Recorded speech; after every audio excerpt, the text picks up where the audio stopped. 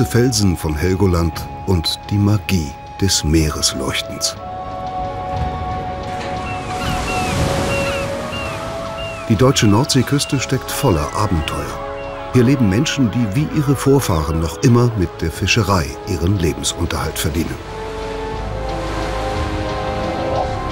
Die bedrohte Tierwelt kann im Watt überleben, weil die Menschen gelernt haben, behutsam mit der Natur an der Küste umzugehen. Versunkene Städte, gewaltige Sturmfluten haben im Mittelalter die Nordseeküste zerstört. Bei Ebbe gibt das Meer die Spuren manchmal wieder frei.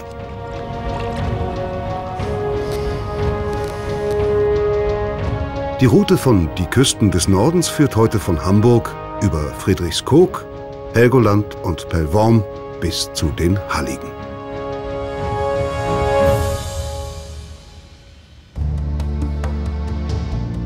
Die Alster mitten in Hamburg. Kanäle und kleine Flete ziehen sich von ihr aus bis zum Hafen. Mehr als 2600 Brücken führen über die vielen Wasserläufe. Hamburg, Venedig des Nordens und Hafenstadt mit Weltbedeutung.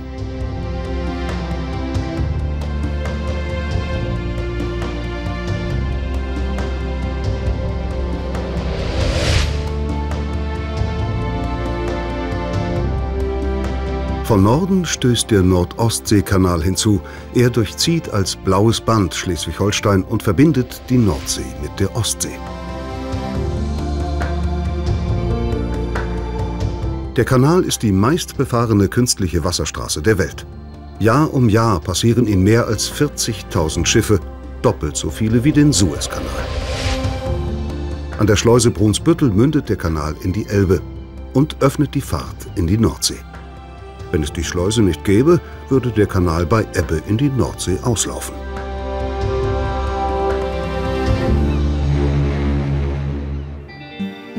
Nördlich der Schifffahrtsroute beginnt das Wattenmeer. Eine einzigartige Welt, die zweimal am Tag ihr Gesicht ändert.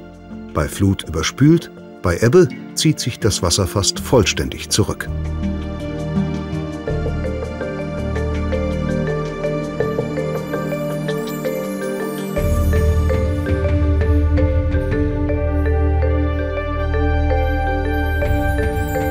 Der Nationalpark Schleswig-Holsteinisches Wattenmeer hat mehr als 4000 Quadratkilometer Fläche und ist der größte in Deutschland.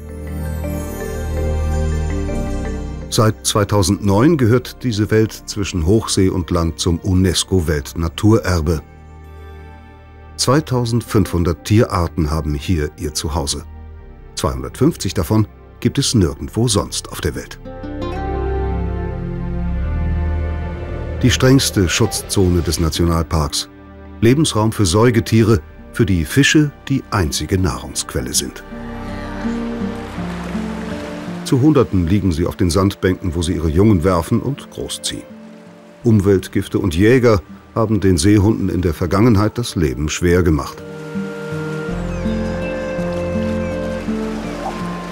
In den 1970er Jahren waren sie fast ausgestorben. Erst nachdem 1973 die Jagd auf sie verboten und der Nationalpark eingerichtet wurde, hat sich der Bestand erholt.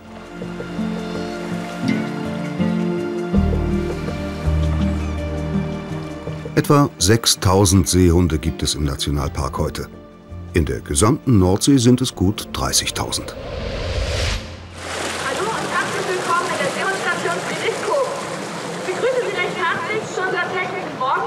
Die Seehundstation Friedrichskoog.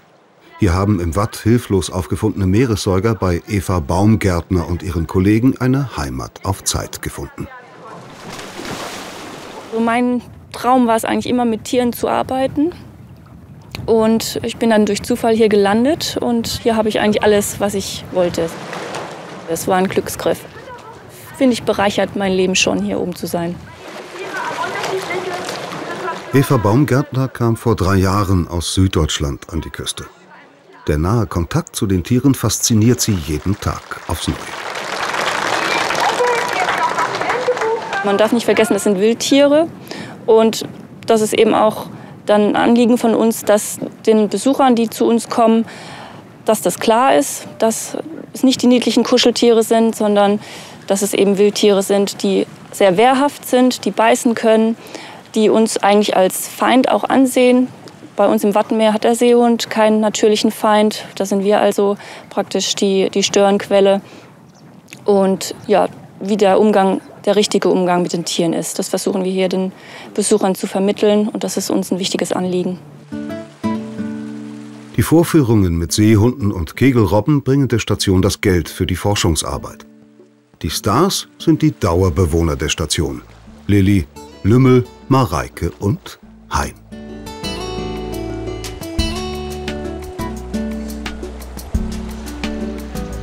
Die Tiere wurden verletzt im Wattenmeer gefunden oder kamen in der Seehundstation Friedrichskoog zur Welt.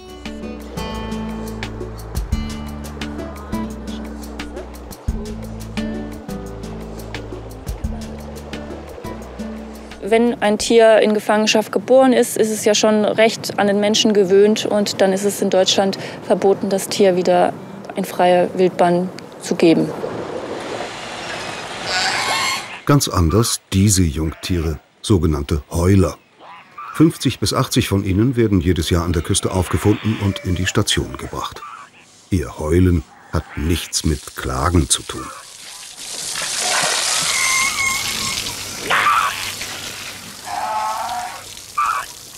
Heulen tun alle Jungtiere der Seehunde. Und äh, das ist ein normaler Kontaktlaut, den das äh, Jungtier hat, um seine Mutter ranzurufen, wenn es zum Beispiel Hunger hat, wenn es nach der Mutter ruft. Ähm, und Heuler sind eben nur die Jungtiere, die während der Säugezeit von der Mutter wirklich getrennt wurden. Das heißt, in den ersten Lebenswochen, in denen das Jungtier noch auf die Mutter angewiesen ist, in der es noch Muttermilch trinkt. In einem abgeschiedenen Gehege der Seehundstation werden die Heuler dick gefüttert. Im Herbst soll es für alle wieder in die Freiheit gehen. Niemand außer den Pflegern darf hier sein, denn die Heuler sollen weitgehend ohne Kontakt zu den Menschen aufwachsen.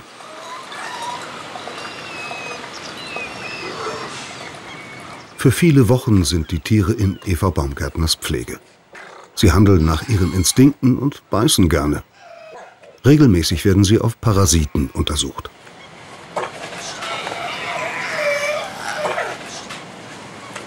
Die Jungtiere werden meist kurz nach der Geburt gefunden, dann wiegen sie nur 10 Kilo. Sobald sie auf 25 Kilo zugehen, können die Tiere wieder in die freie Wildbahn. Das ist das Gewicht, das sie normalerweise zum Zeitpunkt des Abstillens vom Muttertier haben. 14, 4. Ich habe Ginger und Maxi. Ja. Wer von denen geht heute, wer geht Samstag? Also Inge geht Samstag, die braucht noch ein bisschen. Wobei, die hat ihr Gewicht auch schon, aber... Ja, und kleiner Onkel war ja der dickste. Genau. Der hatte irgendwie über 30, 30 Kilo. Kilo. Kleiner Onkel, Maxi, Inge und die anderen haben ihr Entlassungsgewicht erreicht und ein paar extra Fettreserven für einen guten Start in freier Natur.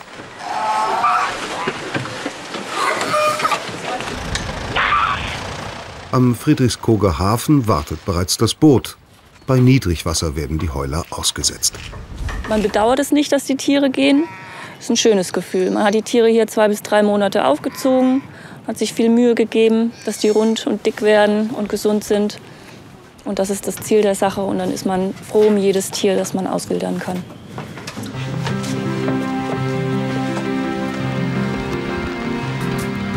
Etwa 2000 Seehunde werden jedes Jahr im Wattenmeer geboren. Gut 600 von ihnen sterben, bevor sie das erste Lebensjahr erreicht haben. Das ist bei Wildtieren normal. Wenn sie als junge Tiere nicht genügend Fisch fangen können, sind sie anfälliger für Krankheiten. Die Zöglinge aus der Seehundstation werden vor einer Sandbank in der Nähe von anderen Tieren ausgesetzt, damit sie sich ihren Artgenossen anschließen können. Ich bin nicht traurig, wenn die Tiere über Bord gehen. Es ist ein schönes Gefühl, wenn man weiß, die Tiere können wieder in die Nordsee, da gehören sie hin und nicht hier in Gefangenschaft. Das ist schon ein gutes Gefühl.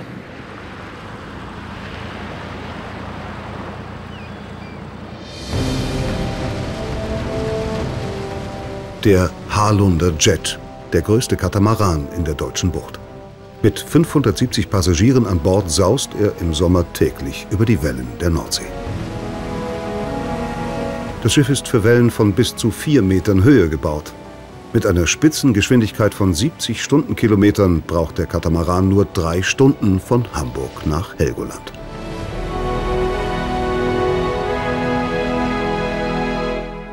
Helgoland liegt 150 Kilometer Luftlinie entfernt von Hamburg. Die einzige Hochseeinsel Deutschlands. 700 nach Christus siedelten hier die Friesen. Zur Hansezeit war es ein gefürchtetes Piratennest. Nach dem Zweiten Weltkrieg wurden große Teile der Insel wegen ihrer militärischen Anlagen von den Alliierten gesprengt.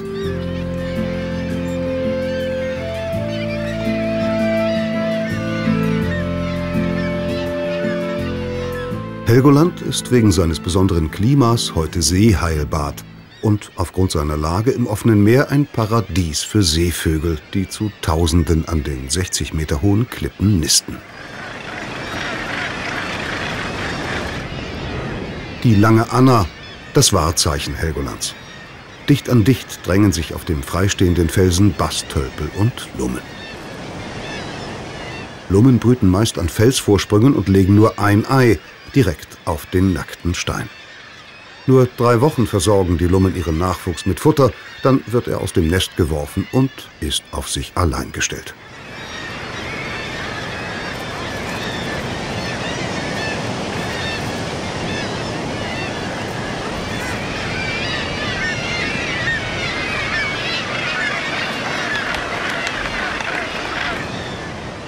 Helgoland hat rund 1200 Einwohner. Fast alle leben vom Tourismus.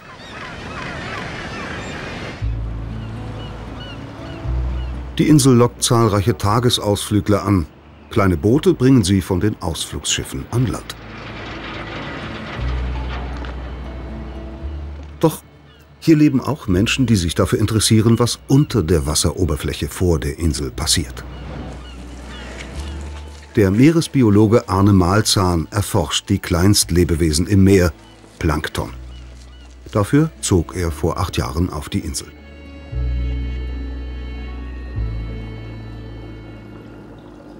Wissenschaftler erkannten früh das Potenzial der Hochseeinsel und entwickelten sie zu einer anerkannten Forschungsstätte. Hier wurde 1845 der Begriff Plankton geprägt.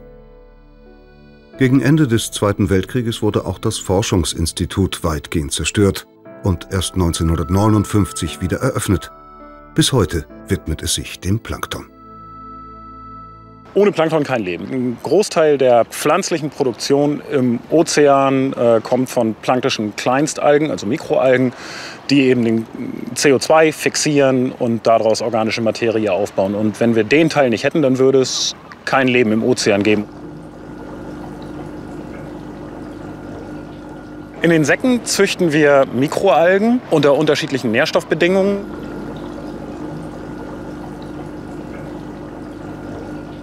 Zu Plankton gehören zum Beispiel Kleinstkrebschen. Der Großteil der planktischen Organismen äh, ist, ich sag mal, unterhalb von einem Millimeter groß. Das macht aber trotz alledem den Großteil der Biomasse aus, die im Meer äh, zur Verfügung steht. Im Labor wird experimentiert, draußen im Meer dagegen herrschen reale Bedingungen. Arne Malzahn erforscht die komplexe Nahrungskette rund um den roten Felsen. Täglich fährt er mit dem Forschungsboot hinaus, um frisches Plankton zu fischen.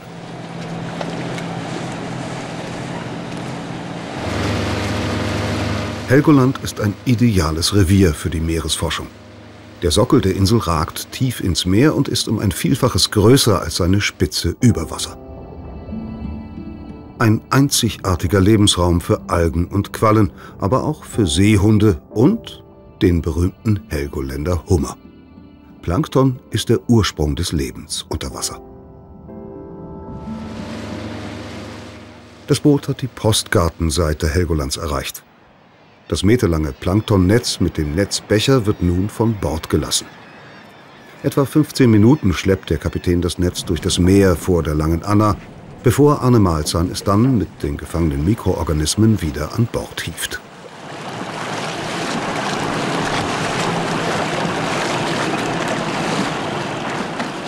Ich finde es einfach spannend. Diese Vielfalt, die man zu sehen bekommt, ist äh, überwältigend.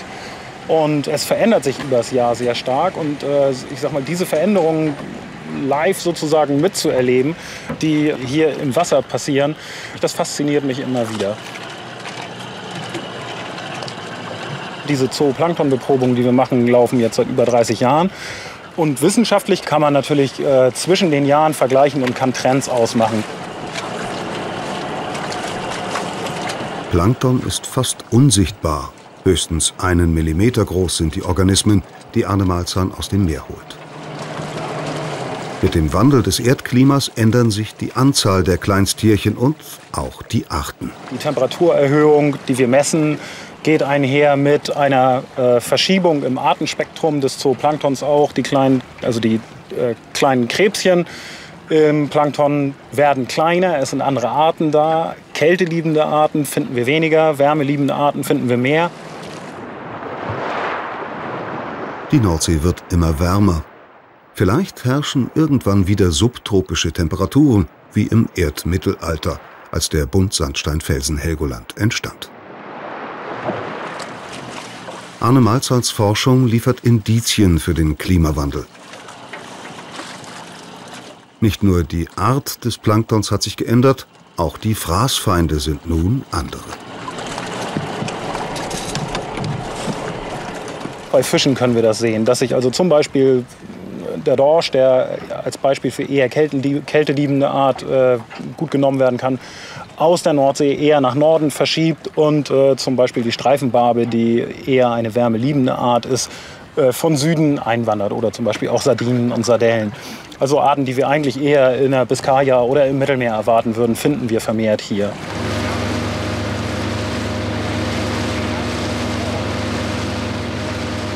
Das macht mir natürlich schon ein bisschen Angst, weil diese Veränderungen sind jetzt so dramatisch schnell, dass die äh, Organismen wenig Zeit haben, sich anzupassen, was sonst in, ich sag mal, evolutionären Zeitskalen äh, stattgefunden hat, findet jetzt sehr, sehr, sehr schnell statt. Die Meeresbiologen sind die Ersten, die die Auswirkungen des Klimawandels auf das Leben in der Nordsee beobachten. Aber es gibt ein Phänomen auf Helgoland, das Arne Malzahn immer wieder mit der Realität versöhnt. In den Planktonfang sind winzige Organismen geraten. Im Sommer treten sie in großen Mengen auf. Durch eine chemische Reaktion erzeugen sie ein magisches Licht, das Meeresleuchten. Die Meeresleuchttierchen, genannt Noctiluca, wurden vor 200 Jahren auf Helgoland entdeckt und hier erstmals beschrieben.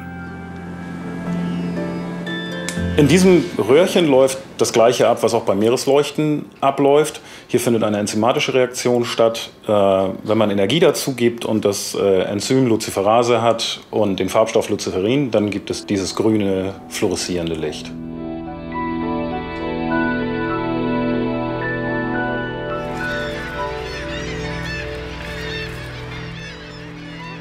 So ein Abend, wenn man mit dem Boot durch Meeresleuchten fährt, das tröstet schon über viel hinweg und äh, gibt einem doch wieder ein gutes Gefühl, dass vielleicht alles in Ordnung ist oder besser wird. Auch wenn es dann nur für den Augenblick ist, äh, fühlt es sich zumindest gut an.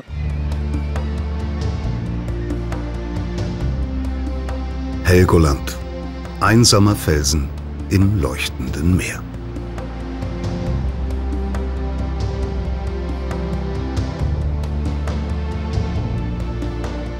Weiter südlich ragt im Wattenmeer ein von Menschen gebauter Koloss empor, die Mittelplate, Deutschlands einzige Ölbohrinsel. Benannt nach einer Sandbank, auf der die Plattform 1986 errichtet wurde.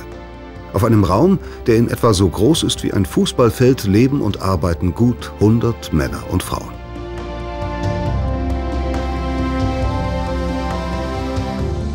Unter der Sandbank liegen noch 30 Millionen Tonnen Erdöl, die in den nächsten Jahren gefördert werden sollen. Zurzeit liefert die Mittelplatte 3% des deutschen Erdölbedarfs. Schwarzes Gold, das sich aus Pflanzen und Plankton in Millionen Jahren auf dem Grund der Urmeere abgelagert hat.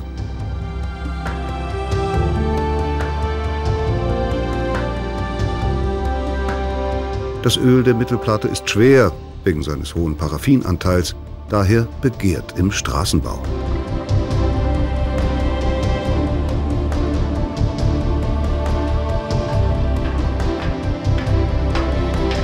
Mittelplate, mitten im Nationalpark. Damit kein Öl entweicht und Schaden anrichten kann, wurde die Plattform komplett in eine Stahlwanne gesetzt.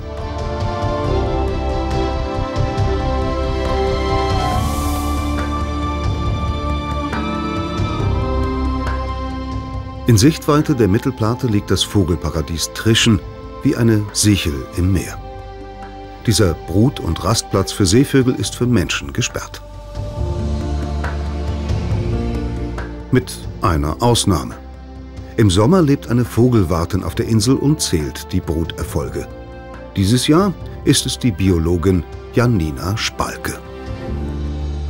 Meine Mutter fand es nicht so gut. Die war ein bisschen schockiert, weil ich halt so lange allein bin und äh, weil man natürlich auch nicht einschätzen kann, wie der Sommer wird, was, wie die Hochwasser kommen und ob halt nicht doch irgendwas passiert.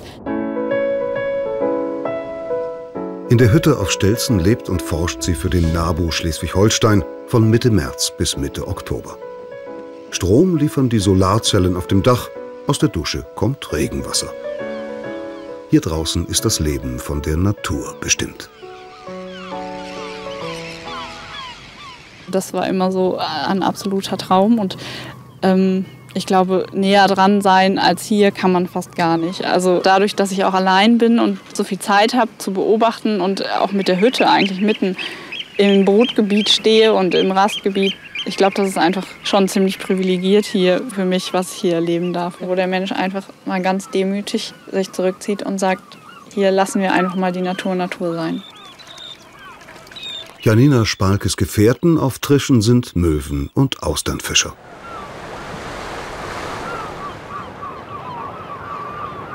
Da zähle ich einfach alle zwei Wochen alle Vögel, die hier auf der Insel sind. Dann musste ich eigentlich das ganze Frühjahr bis jetzt in Sommer hinein die Brutvögel erfassen, also wie viele Vögel hier tatsächlich brüten. Das sind alles Daten, die wattenmeerweit erhoben werden und dann, also auch mit den Niederlanden und Dänemark zusammen, und die dann ausgewertet werden. Und da geht es dann einfach darum, abzuschätzen, wie geht es den Populationen der einzelnen Vögel.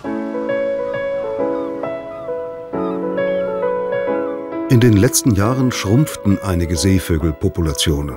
Warum, weiß noch niemand.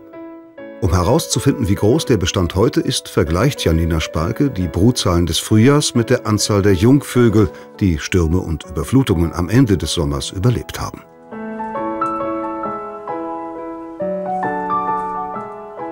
Janina Spalke fürchtet sich weder vor Unwetter noch vor Krankheit.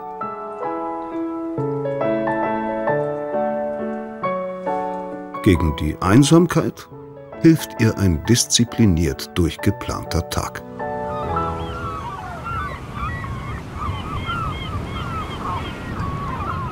Das Verrückte war eigentlich, wir haben angelegt oder sind halt auf die Insel draufgefahren. Ähm, ich habe den Turm gesehen und die Hütte und habe gedacht, das war genau die richtige Entscheidung. Das werden sieben ganz gute Monate. Und dann war es eigentlich auch vom ersten Moment an ein gutes Gefühl. Irgendwann fand ich es auch nicht mehr komisch, am Strand zu laufen und zu wissen, es ist einfach niemand anders da. Also sonst habe ich immer gedacht, irgendwo müssten ja mal Leute sein. Also das ist ja natürlich das, was man kennt von anderen Inseln. Aber ähm, ich war einfach total froh. Das war dann meine Insel hier für diesen Sommer und äh, ja, es war einfach nur ein ganz, ganz gutes Gefühl.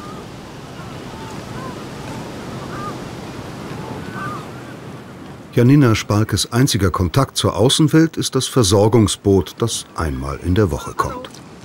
Hallo Janina, komm an Bord.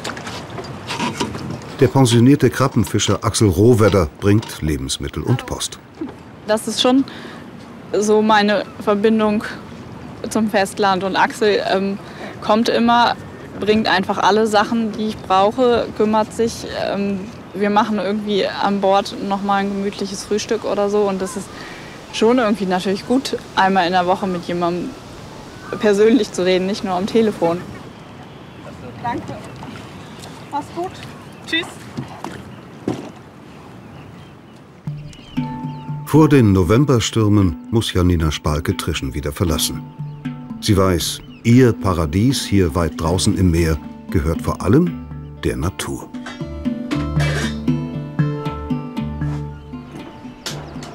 Ich finde, dass der Nationalpark einfach eine ganz gute Möglichkeit bietet, Natur Natur sein zu lassen. Und dass es einfach mal eine Zone ist, wo die Menschen überhaupt nicht eingreifen, sondern nur beobachten, was passiert, wenn man tatsächlich mal der Natur ihren Lauf lässt. Und das ist hier auf Trieschen einfach ganz toll möglich. Das ist einfach was, was es fast nicht mehr an der schleswig-holsteinischen Küste gibt, sondern fast nur noch hier.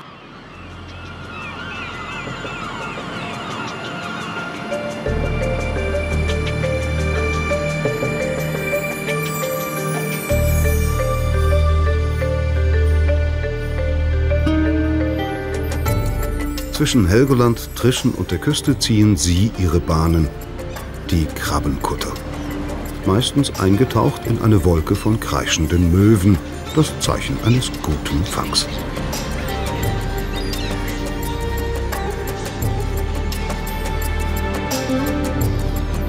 Das Objekt der Begierde sind die Nordseegarnelen. Eine Delikatesse, die es in bester Qualität nur im friesischen Wattenmeer gibt. Tag und Nacht, oft eine ganze Woche lang sind die Kutter kreuz und quer vor der Küste unterwegs. Hunderte Kilometer an den Kanten der Wasserläufe entlang. Bis sie ihren Bauch voll haben und den Fang an Land bringen. Im Schnitt fasst ein Kutter acht Tonnen Krabben.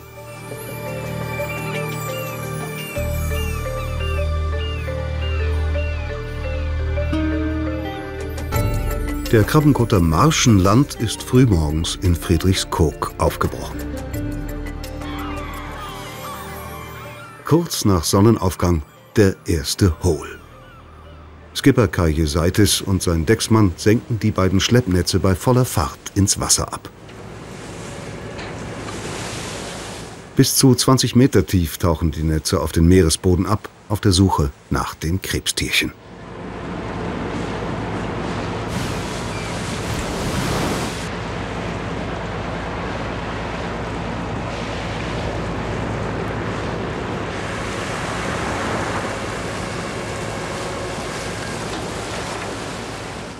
Weiß wirklich nicht. Das kann sein, das kann bombastisch sein und kann auch auf mal tote Hose sein. Das ist vom Luftdruck, von Wind, von der Windrichtung.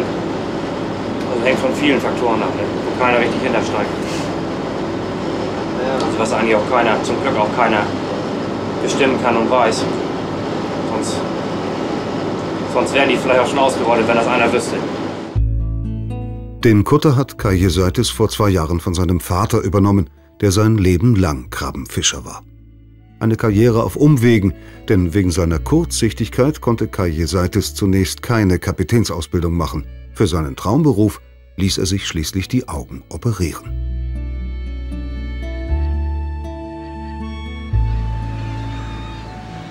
Doch auch mit voller Sehkraft kann er nur erahnen, wo die meisten Krabben sind. Die Möwen hingegen scheinen es bereits zu wissen.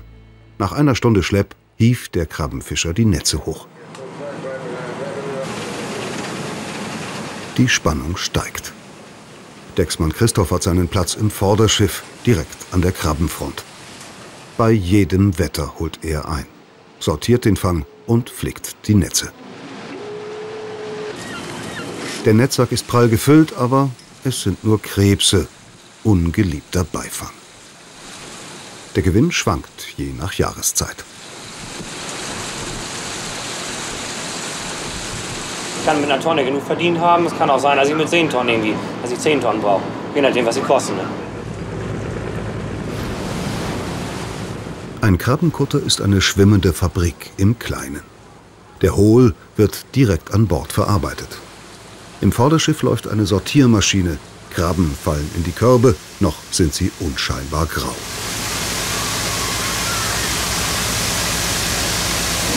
Kai Jesaitis ist erleichtert. Der Schlepp heute hat sich gelohnt. Der wertlose Beifang geht über Bord. Auch für die Möwen ist noch etwas dabei.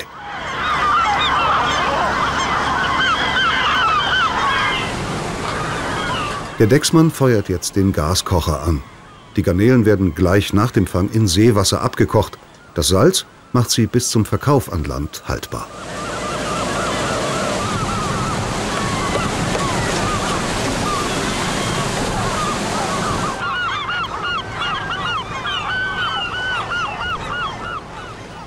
Nach einer Viertelstunde sind sie gar. Frische Nordseekrabben. Nun haben sie ihre rote, feste Konsistenz. Der Leckerbissen aus dem Wattenmeer.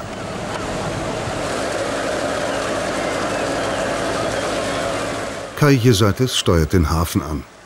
Der Fang geht direkt vom Schiff auf den LKW. In einer Fabrik werden die Krabben gepult und verpackt. Kai und Christoph, die Besatzung der Marschenland.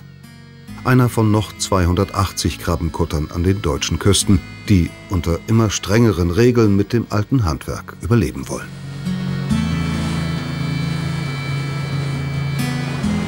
Ja, irgendwie ist ja trotzdem, trotz allen Vorschriften, ist man ja doch noch so ein bisschen sein eigener Herr. Man kann sich das so ein bisschen selber einteilen. Auch wenn man im Endeffekt weniger Zeit dadurch hat, aber irgendwie sitzt doch keiner, kein Chef im Nacken, der einem was vorschreibt.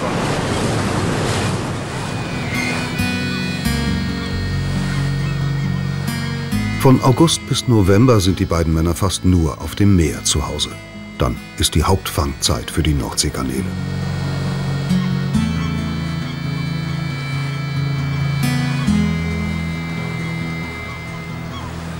Ich könnte mir jetzt zum Beispiel nicht vorstellen, jetzt irgendwo in eine Stadt zu ziehen. Also mir würde das Wasser vor allem auch fehlen, der Hafen einfach.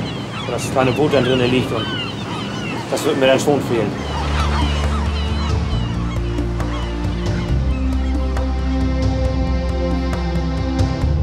Weiter geht es ins Dithmarscher Land.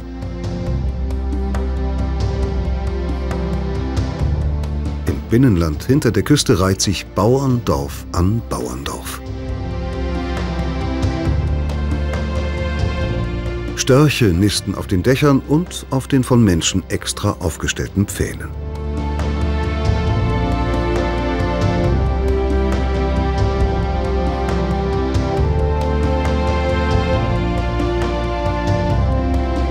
Das Marschenland ist besonders nährstoffhaltig und daher gutes Ackerland, ideal für Gemüse. Und für eines ganz besonders gut, für Kohlköpfe jeder Art. In Dithmarschen liegt eine der Kohlkammern Europas.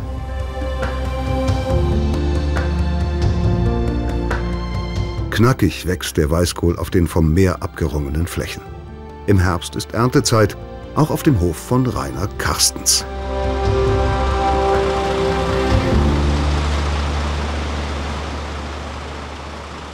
Der Boden ist besonders wasserhaltefähig, sodass der Kohl immer eine ganz ausgeglichene Wasserversorgung, Nährstoffversorgung hat.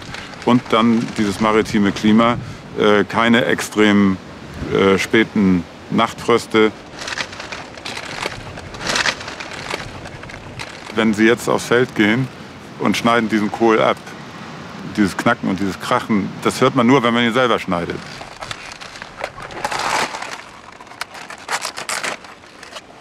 Dann kriegt man richtig Appetit darauf. Nicht?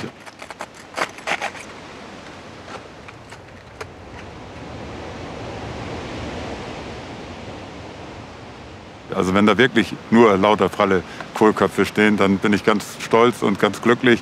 Und dann äh, geht mir das so, dass ich so äh, eigentlich fast die Kraft äh, von diesem Feld spüre. Nicht? Wenn Sie über so ein Feld gehen, was richtig prall dort steht und Sie gehen da durch und denken nicht an die sonstigen Probleme, die Sie vielleicht noch haben, dann merken Sie richtig, was für eine Kraft in diesem Feld steht.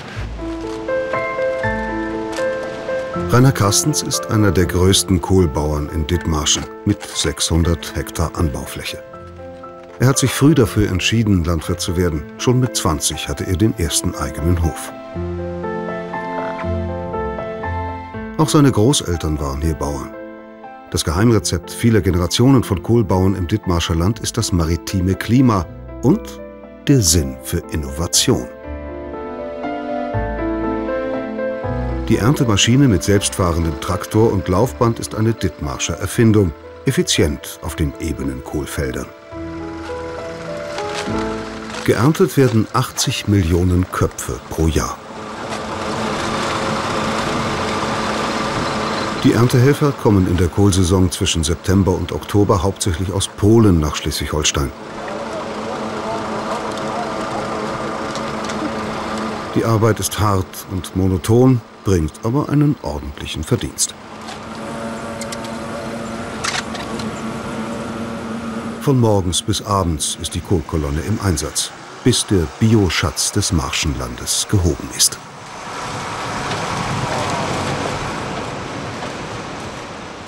Ein Landwirt möchte Nahrungsmittel erzeugen und möchte diese Nahrungsmittel voller Stolz verkaufen. Wir wollen also gute Nahrungsmittel herstellen, die wir dann irgendwo im Laden wiedersehen und äh, sagen können, guck mal, das habe ich hergestellt und du kannst es essen.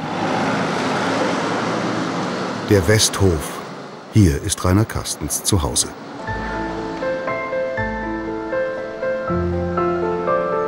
Er hat den traditionell bewirtschafteten Gemüsehof schon früh auf Bio umgestellt.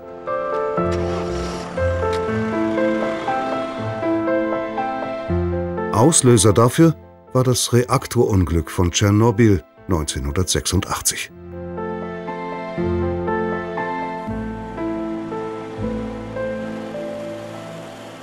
Seit unsere Kinder geboren sind, wurden wir auf jeden Fall schon mal kritischer, was äh, unser Essensverhalten anging, was man den Kindern geben möchte zu essen.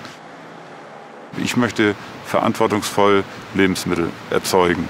Und da war für mich einfach der Bio-Gedanke der nächste, äh, um eben zu zeigen, ich mache mir Gedanken. Ich möchte so wenig wie möglich Schadstoffe in das Produkt, aber auch in die Umwelt äh, bringen.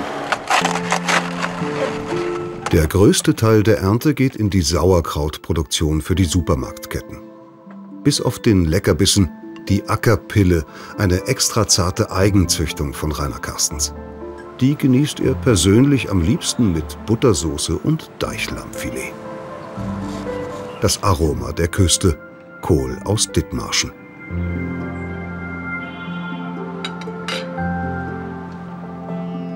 Schon morgen geht die Ernte hier weiter. Die Eider, mit 188 Kilometern der längste Fluss in Schleswig-Holstein. Sie meandert quer durch das Land. In der Wikingerzeit war die Eider die Grenze zwischen dem Frankenreich im Süden und den dänischen Königreichen im Norden.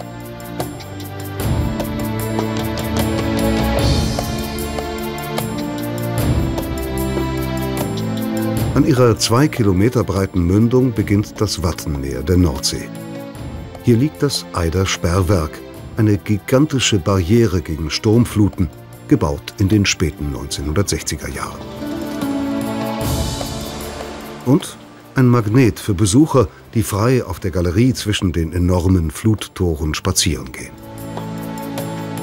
Bis heute verhindert das Eidersperrwerk bei hohen Fluten das Einbrechen von Wassermassen ins Landesinnere und verheerende Überschwemmungen wie 1962.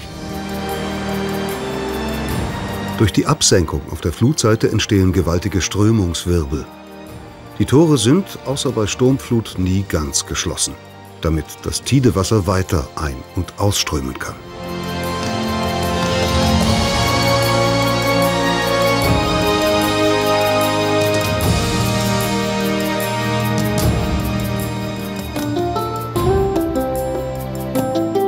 Nördlich des Sperrwerkes, auf der Halbinsel Eiderstedt, liegt an deren äußersten Zipfel das Nordseebad St. Peter-Ording. Sand und Strand. Zwölf Kilometer lang und bis zu zwei Kilometer breit. Die Pfahlbauten mit ihren Badekabinen, Restaurants und Surfstationen sind das Wahrzeichen des Ortes. 1911 wurde hier der erste Pfahlbau auf einer Sandbank gebaut. Die Bauten halten selbst bei Sturmfluten den Wellen der Nordsee stand.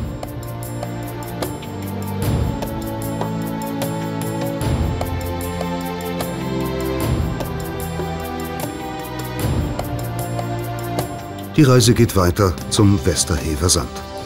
Der Leuchtturm mit den zwei Häusern ist das bekannteste Schiffsleitfeuer an der Küste. Hier arbeiten junge Menschen für ein Jahr ehrenamtlich als Naturschützer.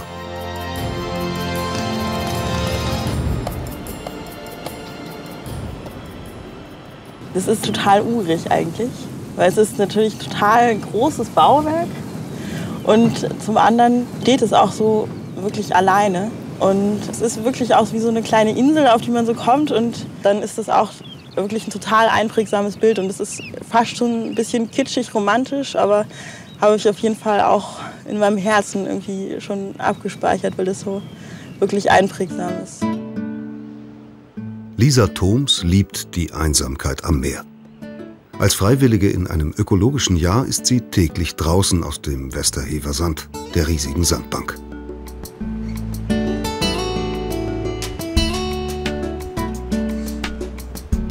Wenn im Sommer heiße Luftschichten auf die kalte Meeresoberfläche stoßen, wehen ferne Bilder der gesamten Küste wie eine Fata Morgana heran. Das ist so ein Moment oder so eine einzigartige Schönheit der Natur, die außer einem selbst überhaupt keiner sieht, einfach weil kein anderer da ist. So fühlt sich das halt an. Und deshalb habe ich halt das Gefühl, dass es gesehen werden will und dass es einfach so ist wie ein Bild, was angeschaut werden möchte. Und dieses Bild ist aber halt nur für diese ganz kleine Sekunde da. Und deshalb muss man jede Sekunde, die man dieses Bild betrachten kann, ausnutzen. Lisa Thoms Aufgabe ist es, die Tiere zu zählen. Hier draußen leben große Kolonien von Seeschwalben und Austernfischern.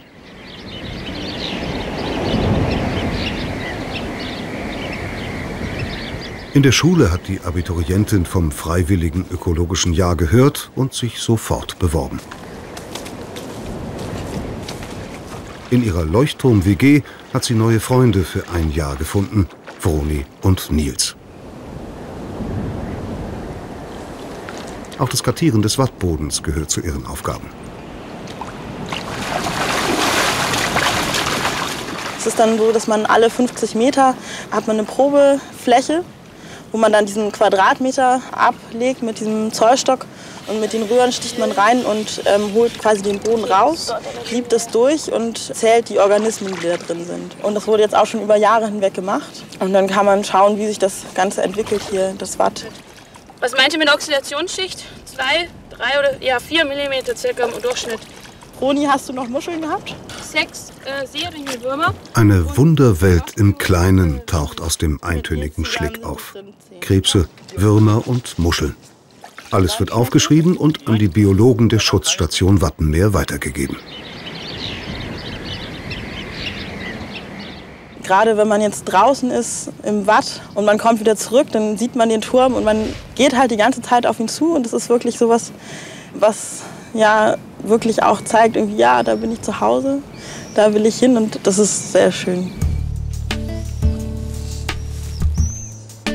Am schönsten für Lisa Thoms die Abende am Meer, wenn keine Touristen mehr da sind. Wenn sie mit Nils und Vroni hoch oben allein auf dem Turm ist und sie ihre heimlichen Grüße zu den Inseln und Halligen schicken.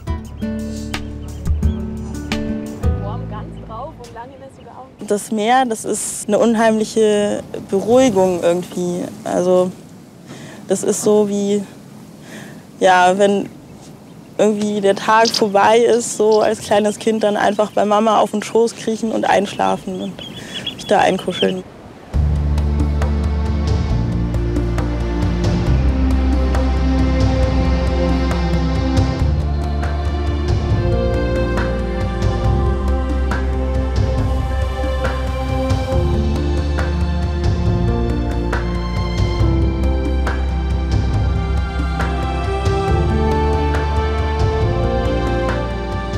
Halligen, kleine Inseln ohne Deich. Im Sommer sind sie friedliche Paradiese im Wattenmeer.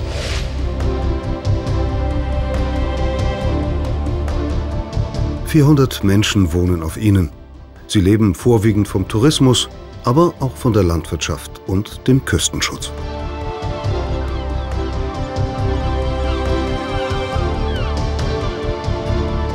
Einsamkeit und Idylle. Nur wenige Familien und ihre Tiere haben hier draußen ihr Zuhause. Nahrungsmittel kommen per Schiff.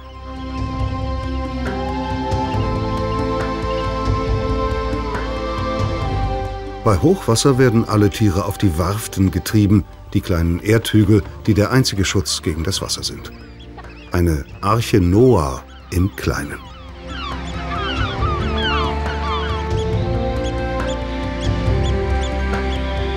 Wenn im Herbst und im Winter die Sturmfluten kommen, wird es ungemütlich auf den Halligen.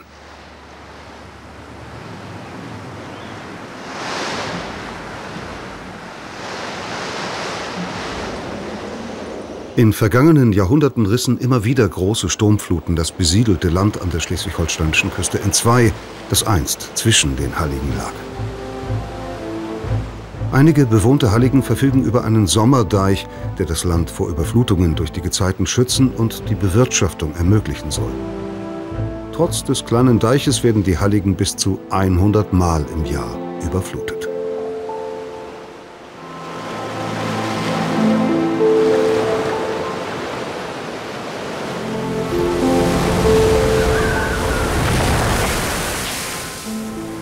Die Grode Mann-Dränke, wie die Flut aufgrund der hohen Todeszahlen genannt wird, tobte 1362 drei Tage lang über das nordfriesische Land.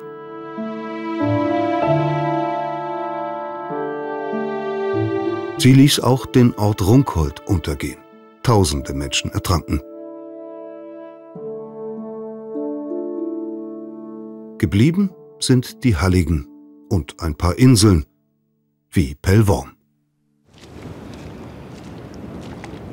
Bei Ebbe scheint alles friedlich im Watt vor der Insel. Doch die Spuren der großen Sturmfluten sind noch da. Drei Kilometer vor der Küste liegt Schlick über den Resten menschlicher Siedlungen. Die Gezeiten stoßen ein Fenster auf und machen das nach Jahrzehnten dann auch wieder das Fenster zu.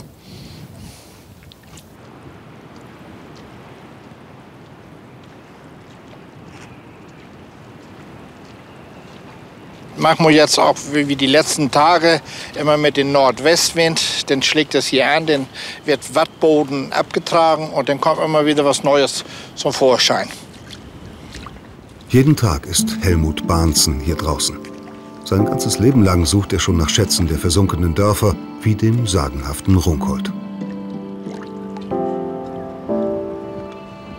Als Fischer und Wasserbauer war Helmut Bahnsen viel im Watt unterwegs. Er weiß nie genau, ob die letzte Flut wirklich etwas freigelegt hat. Diesen Rest einer Trinkwasserzisterne hat der Sturm der letzten Tage auch zum Vorschein gebracht. Hundertprozentig weiß man, hier hat ein Haus gestanden. Also das kann keiner leugnen. Und die Pfähle, und da ist ein Graben, da wo wir hier auch ein Graben, und dann kommt da noch ein paar Pfähle da ganz hinten. Das ist auch so weit ist diese Warf.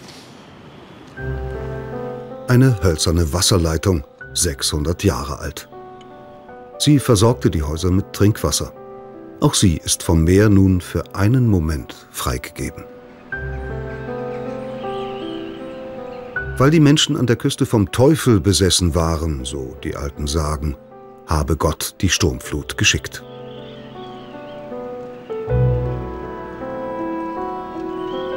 Die alte Kirche von Pellworm war einst der mächtigste Dom an der nordfriesischen Küste.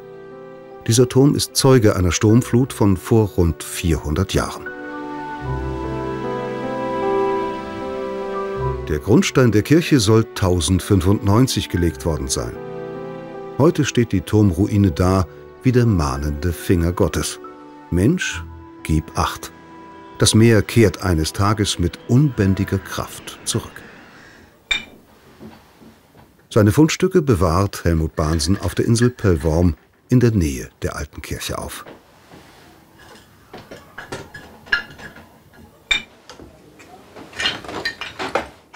(1634) ist das untergegangen. Nur ein paar Hauswerte sind übrig geblieben. Und da weiß man auch nun wieder nicht, wie viele Oma und Opas und Kinder umgekommen waren.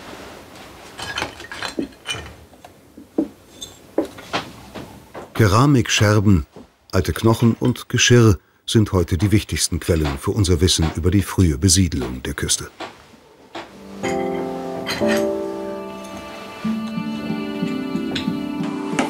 Seit 1971 hat Helmut Bahnsen viele Teile im Watt aufgelesen.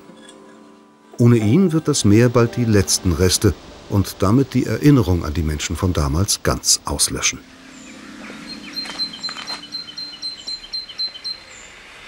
Anfang der 80er Jahre habe ich im Watt ein Stück Glocke gefunden.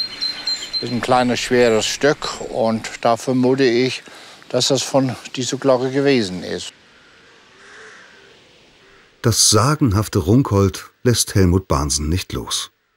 Der Sage nach hört man bei Flut die Glocke des Doms läuten, der einst hier unterging. Ja, und manchmal träumt man nachts davon.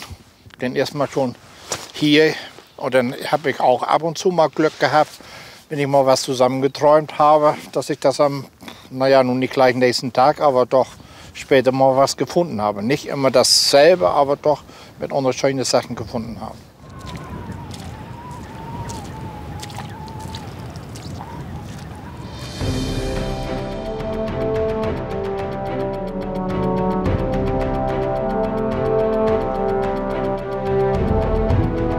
Von der Insel Pelvorm geht es für einen Abstecher zur Küste des Festlands zurück, diesmal zur nördlichen Seite der Halbinsel Eiderstedt zum Simonsberger Kog.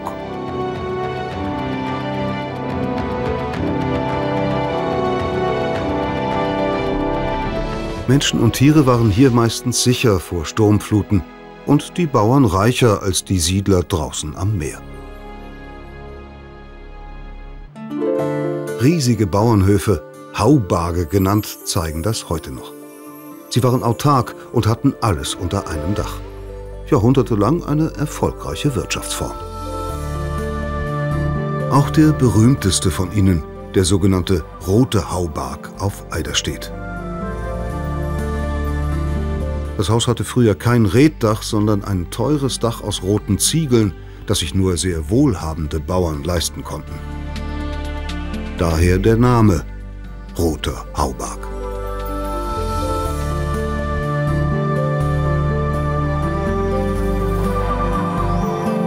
Seit den 1980er Jahren hat an der deutschen Nordseeküste ein Strukturwandel eingesetzt. Statt mit Landwirtschaft wird in vielen Regionen mit Windkraft Geld verdient.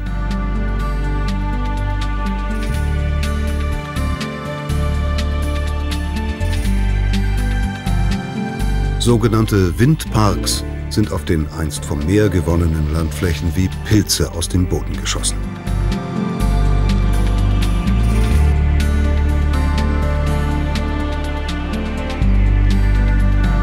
Nicht jeder ist über die Propellertürme glücklich, die den weiten Horizont zerschneiden.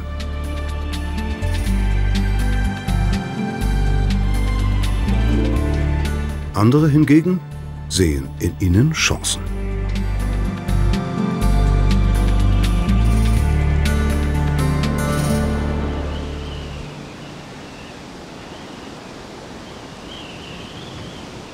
Der Wind gehört zur Küste, hat uns äh, in der Vergangenheit ja viel Ärger gemacht als Nordfriesen, äh, weil immer mal wieder die Köge überflutet worden sind.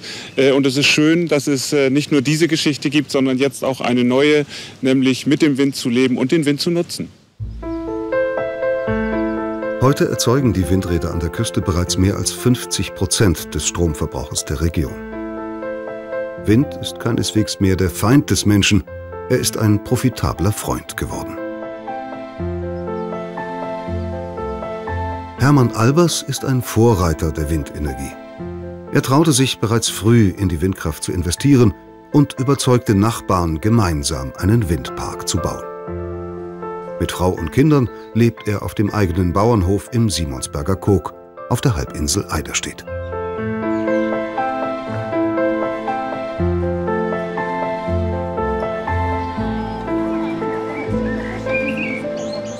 Mein äh, Großvater hat die, diesen Hof 1917 gekauft. Mein Vater hat das in zweiter Generation in den 50er, 60er und 70er Jahren getan. Und auch ich bin dann als Landwirt 1981 hier eingestiegen äh, und habe damals durchaus noch geglaubt, es würde bei einer nur landwirtschaftlichen Karriere bleiben. Aber es wurde immer schwieriger. Viele meiner Nachbarn äh, mussten aufgeben. Äh, und ich habe darüber nachgedacht, wie kann ich meine Existenz zunächst einmal sichern? Wie können wir aus den Ressourcen, die wir hier haben, gute Böden, äh, gutes Wetter, äh, Feuchtigkeit, Regen, aber eben auch Wind, wie können wir aus diesen Ressourcen etwas machen?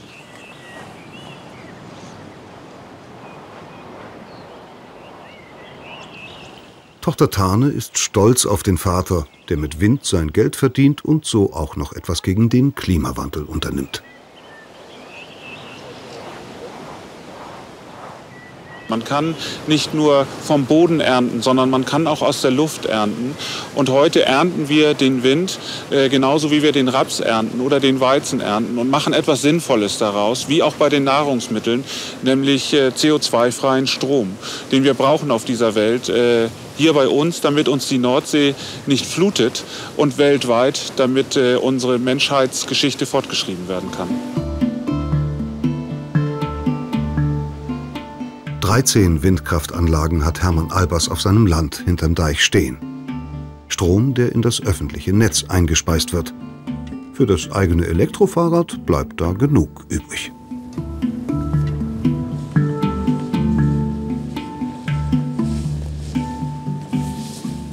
Knapp eine Million Euro kostet eine Windmühle. Nach 15 Jahren hat sie sich amortisiert. Inzwischen bauen viele Küstenbewohner gemeinsam Windkraftanlagen, sogenannte Bürgerwindparks. Mit dem Aufzug geht es hinauf in 78 Meter Höhe.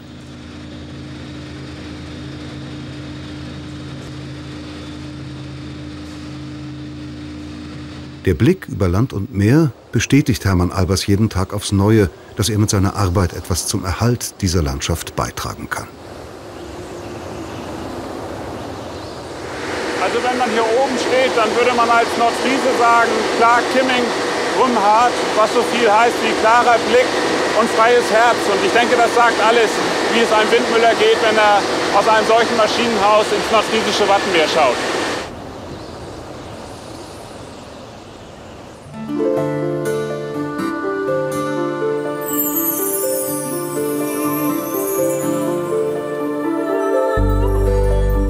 Das nordfriesische Wattenmeer. Ein fragiles Ökosystem, das schützenswert ist. Der Einsatz von alternativen Energien ein erster Schritt, um die Küste und die Umwelt noch für viele Jahrhunderte zu erhalten.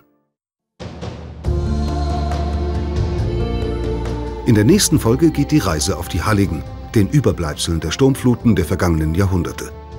Weiter geht es zu den drei Schwestern, für Amrum und Sylt, den grünen Inseln im Norden des Wattenmeeres.